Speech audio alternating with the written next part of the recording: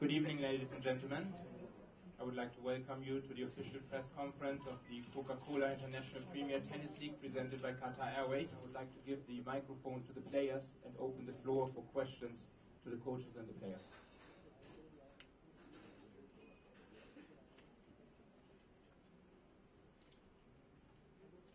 Tennis will never be the same again. Rivalry won't be limited individuals. Champions will team up to beat the odds. Passions will rise. Adrenaline will flow. It's an honor for all of us, I think, to be in the same team as Roger, and uh, you know we're really excited that Roger's coming, and um, you know I, we always, obviously we've been doing really well, uh, you know, so it'll obviously add to it, and uh, yeah, I, personally for me, yeah, it's a great privilege to be playing with him if that happens. First heard about this event, were you skeptical that that uh, how it's going to unfold?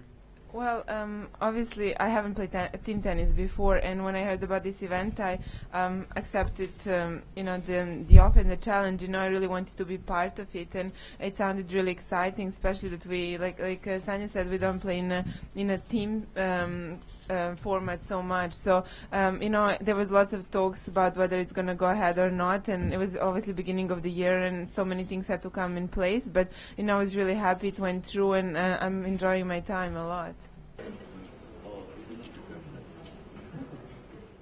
It's different, but uh, me, I really like it. For me, like a player like me, love uh, to play long rallies, and uh, actually, physically, it's uh, my main strength. So for me, it's it's better. So um, I will push for it. Yeah, this option to choose between one to pair. Whom would it be? Uh, my question is for Gaël Monfils. Uh, you were a track athlete before you became a professional tennis player.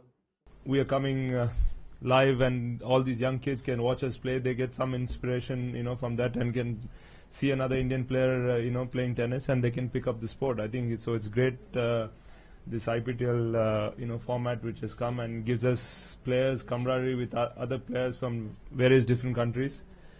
Uh, so i think overall tennis is the winner here for sure you had a phenomenal 2014. You broke into top five, and you also reached the WTA finals in Singapore. So, uh, what did you do differently this time? Could you tell us about this particular year?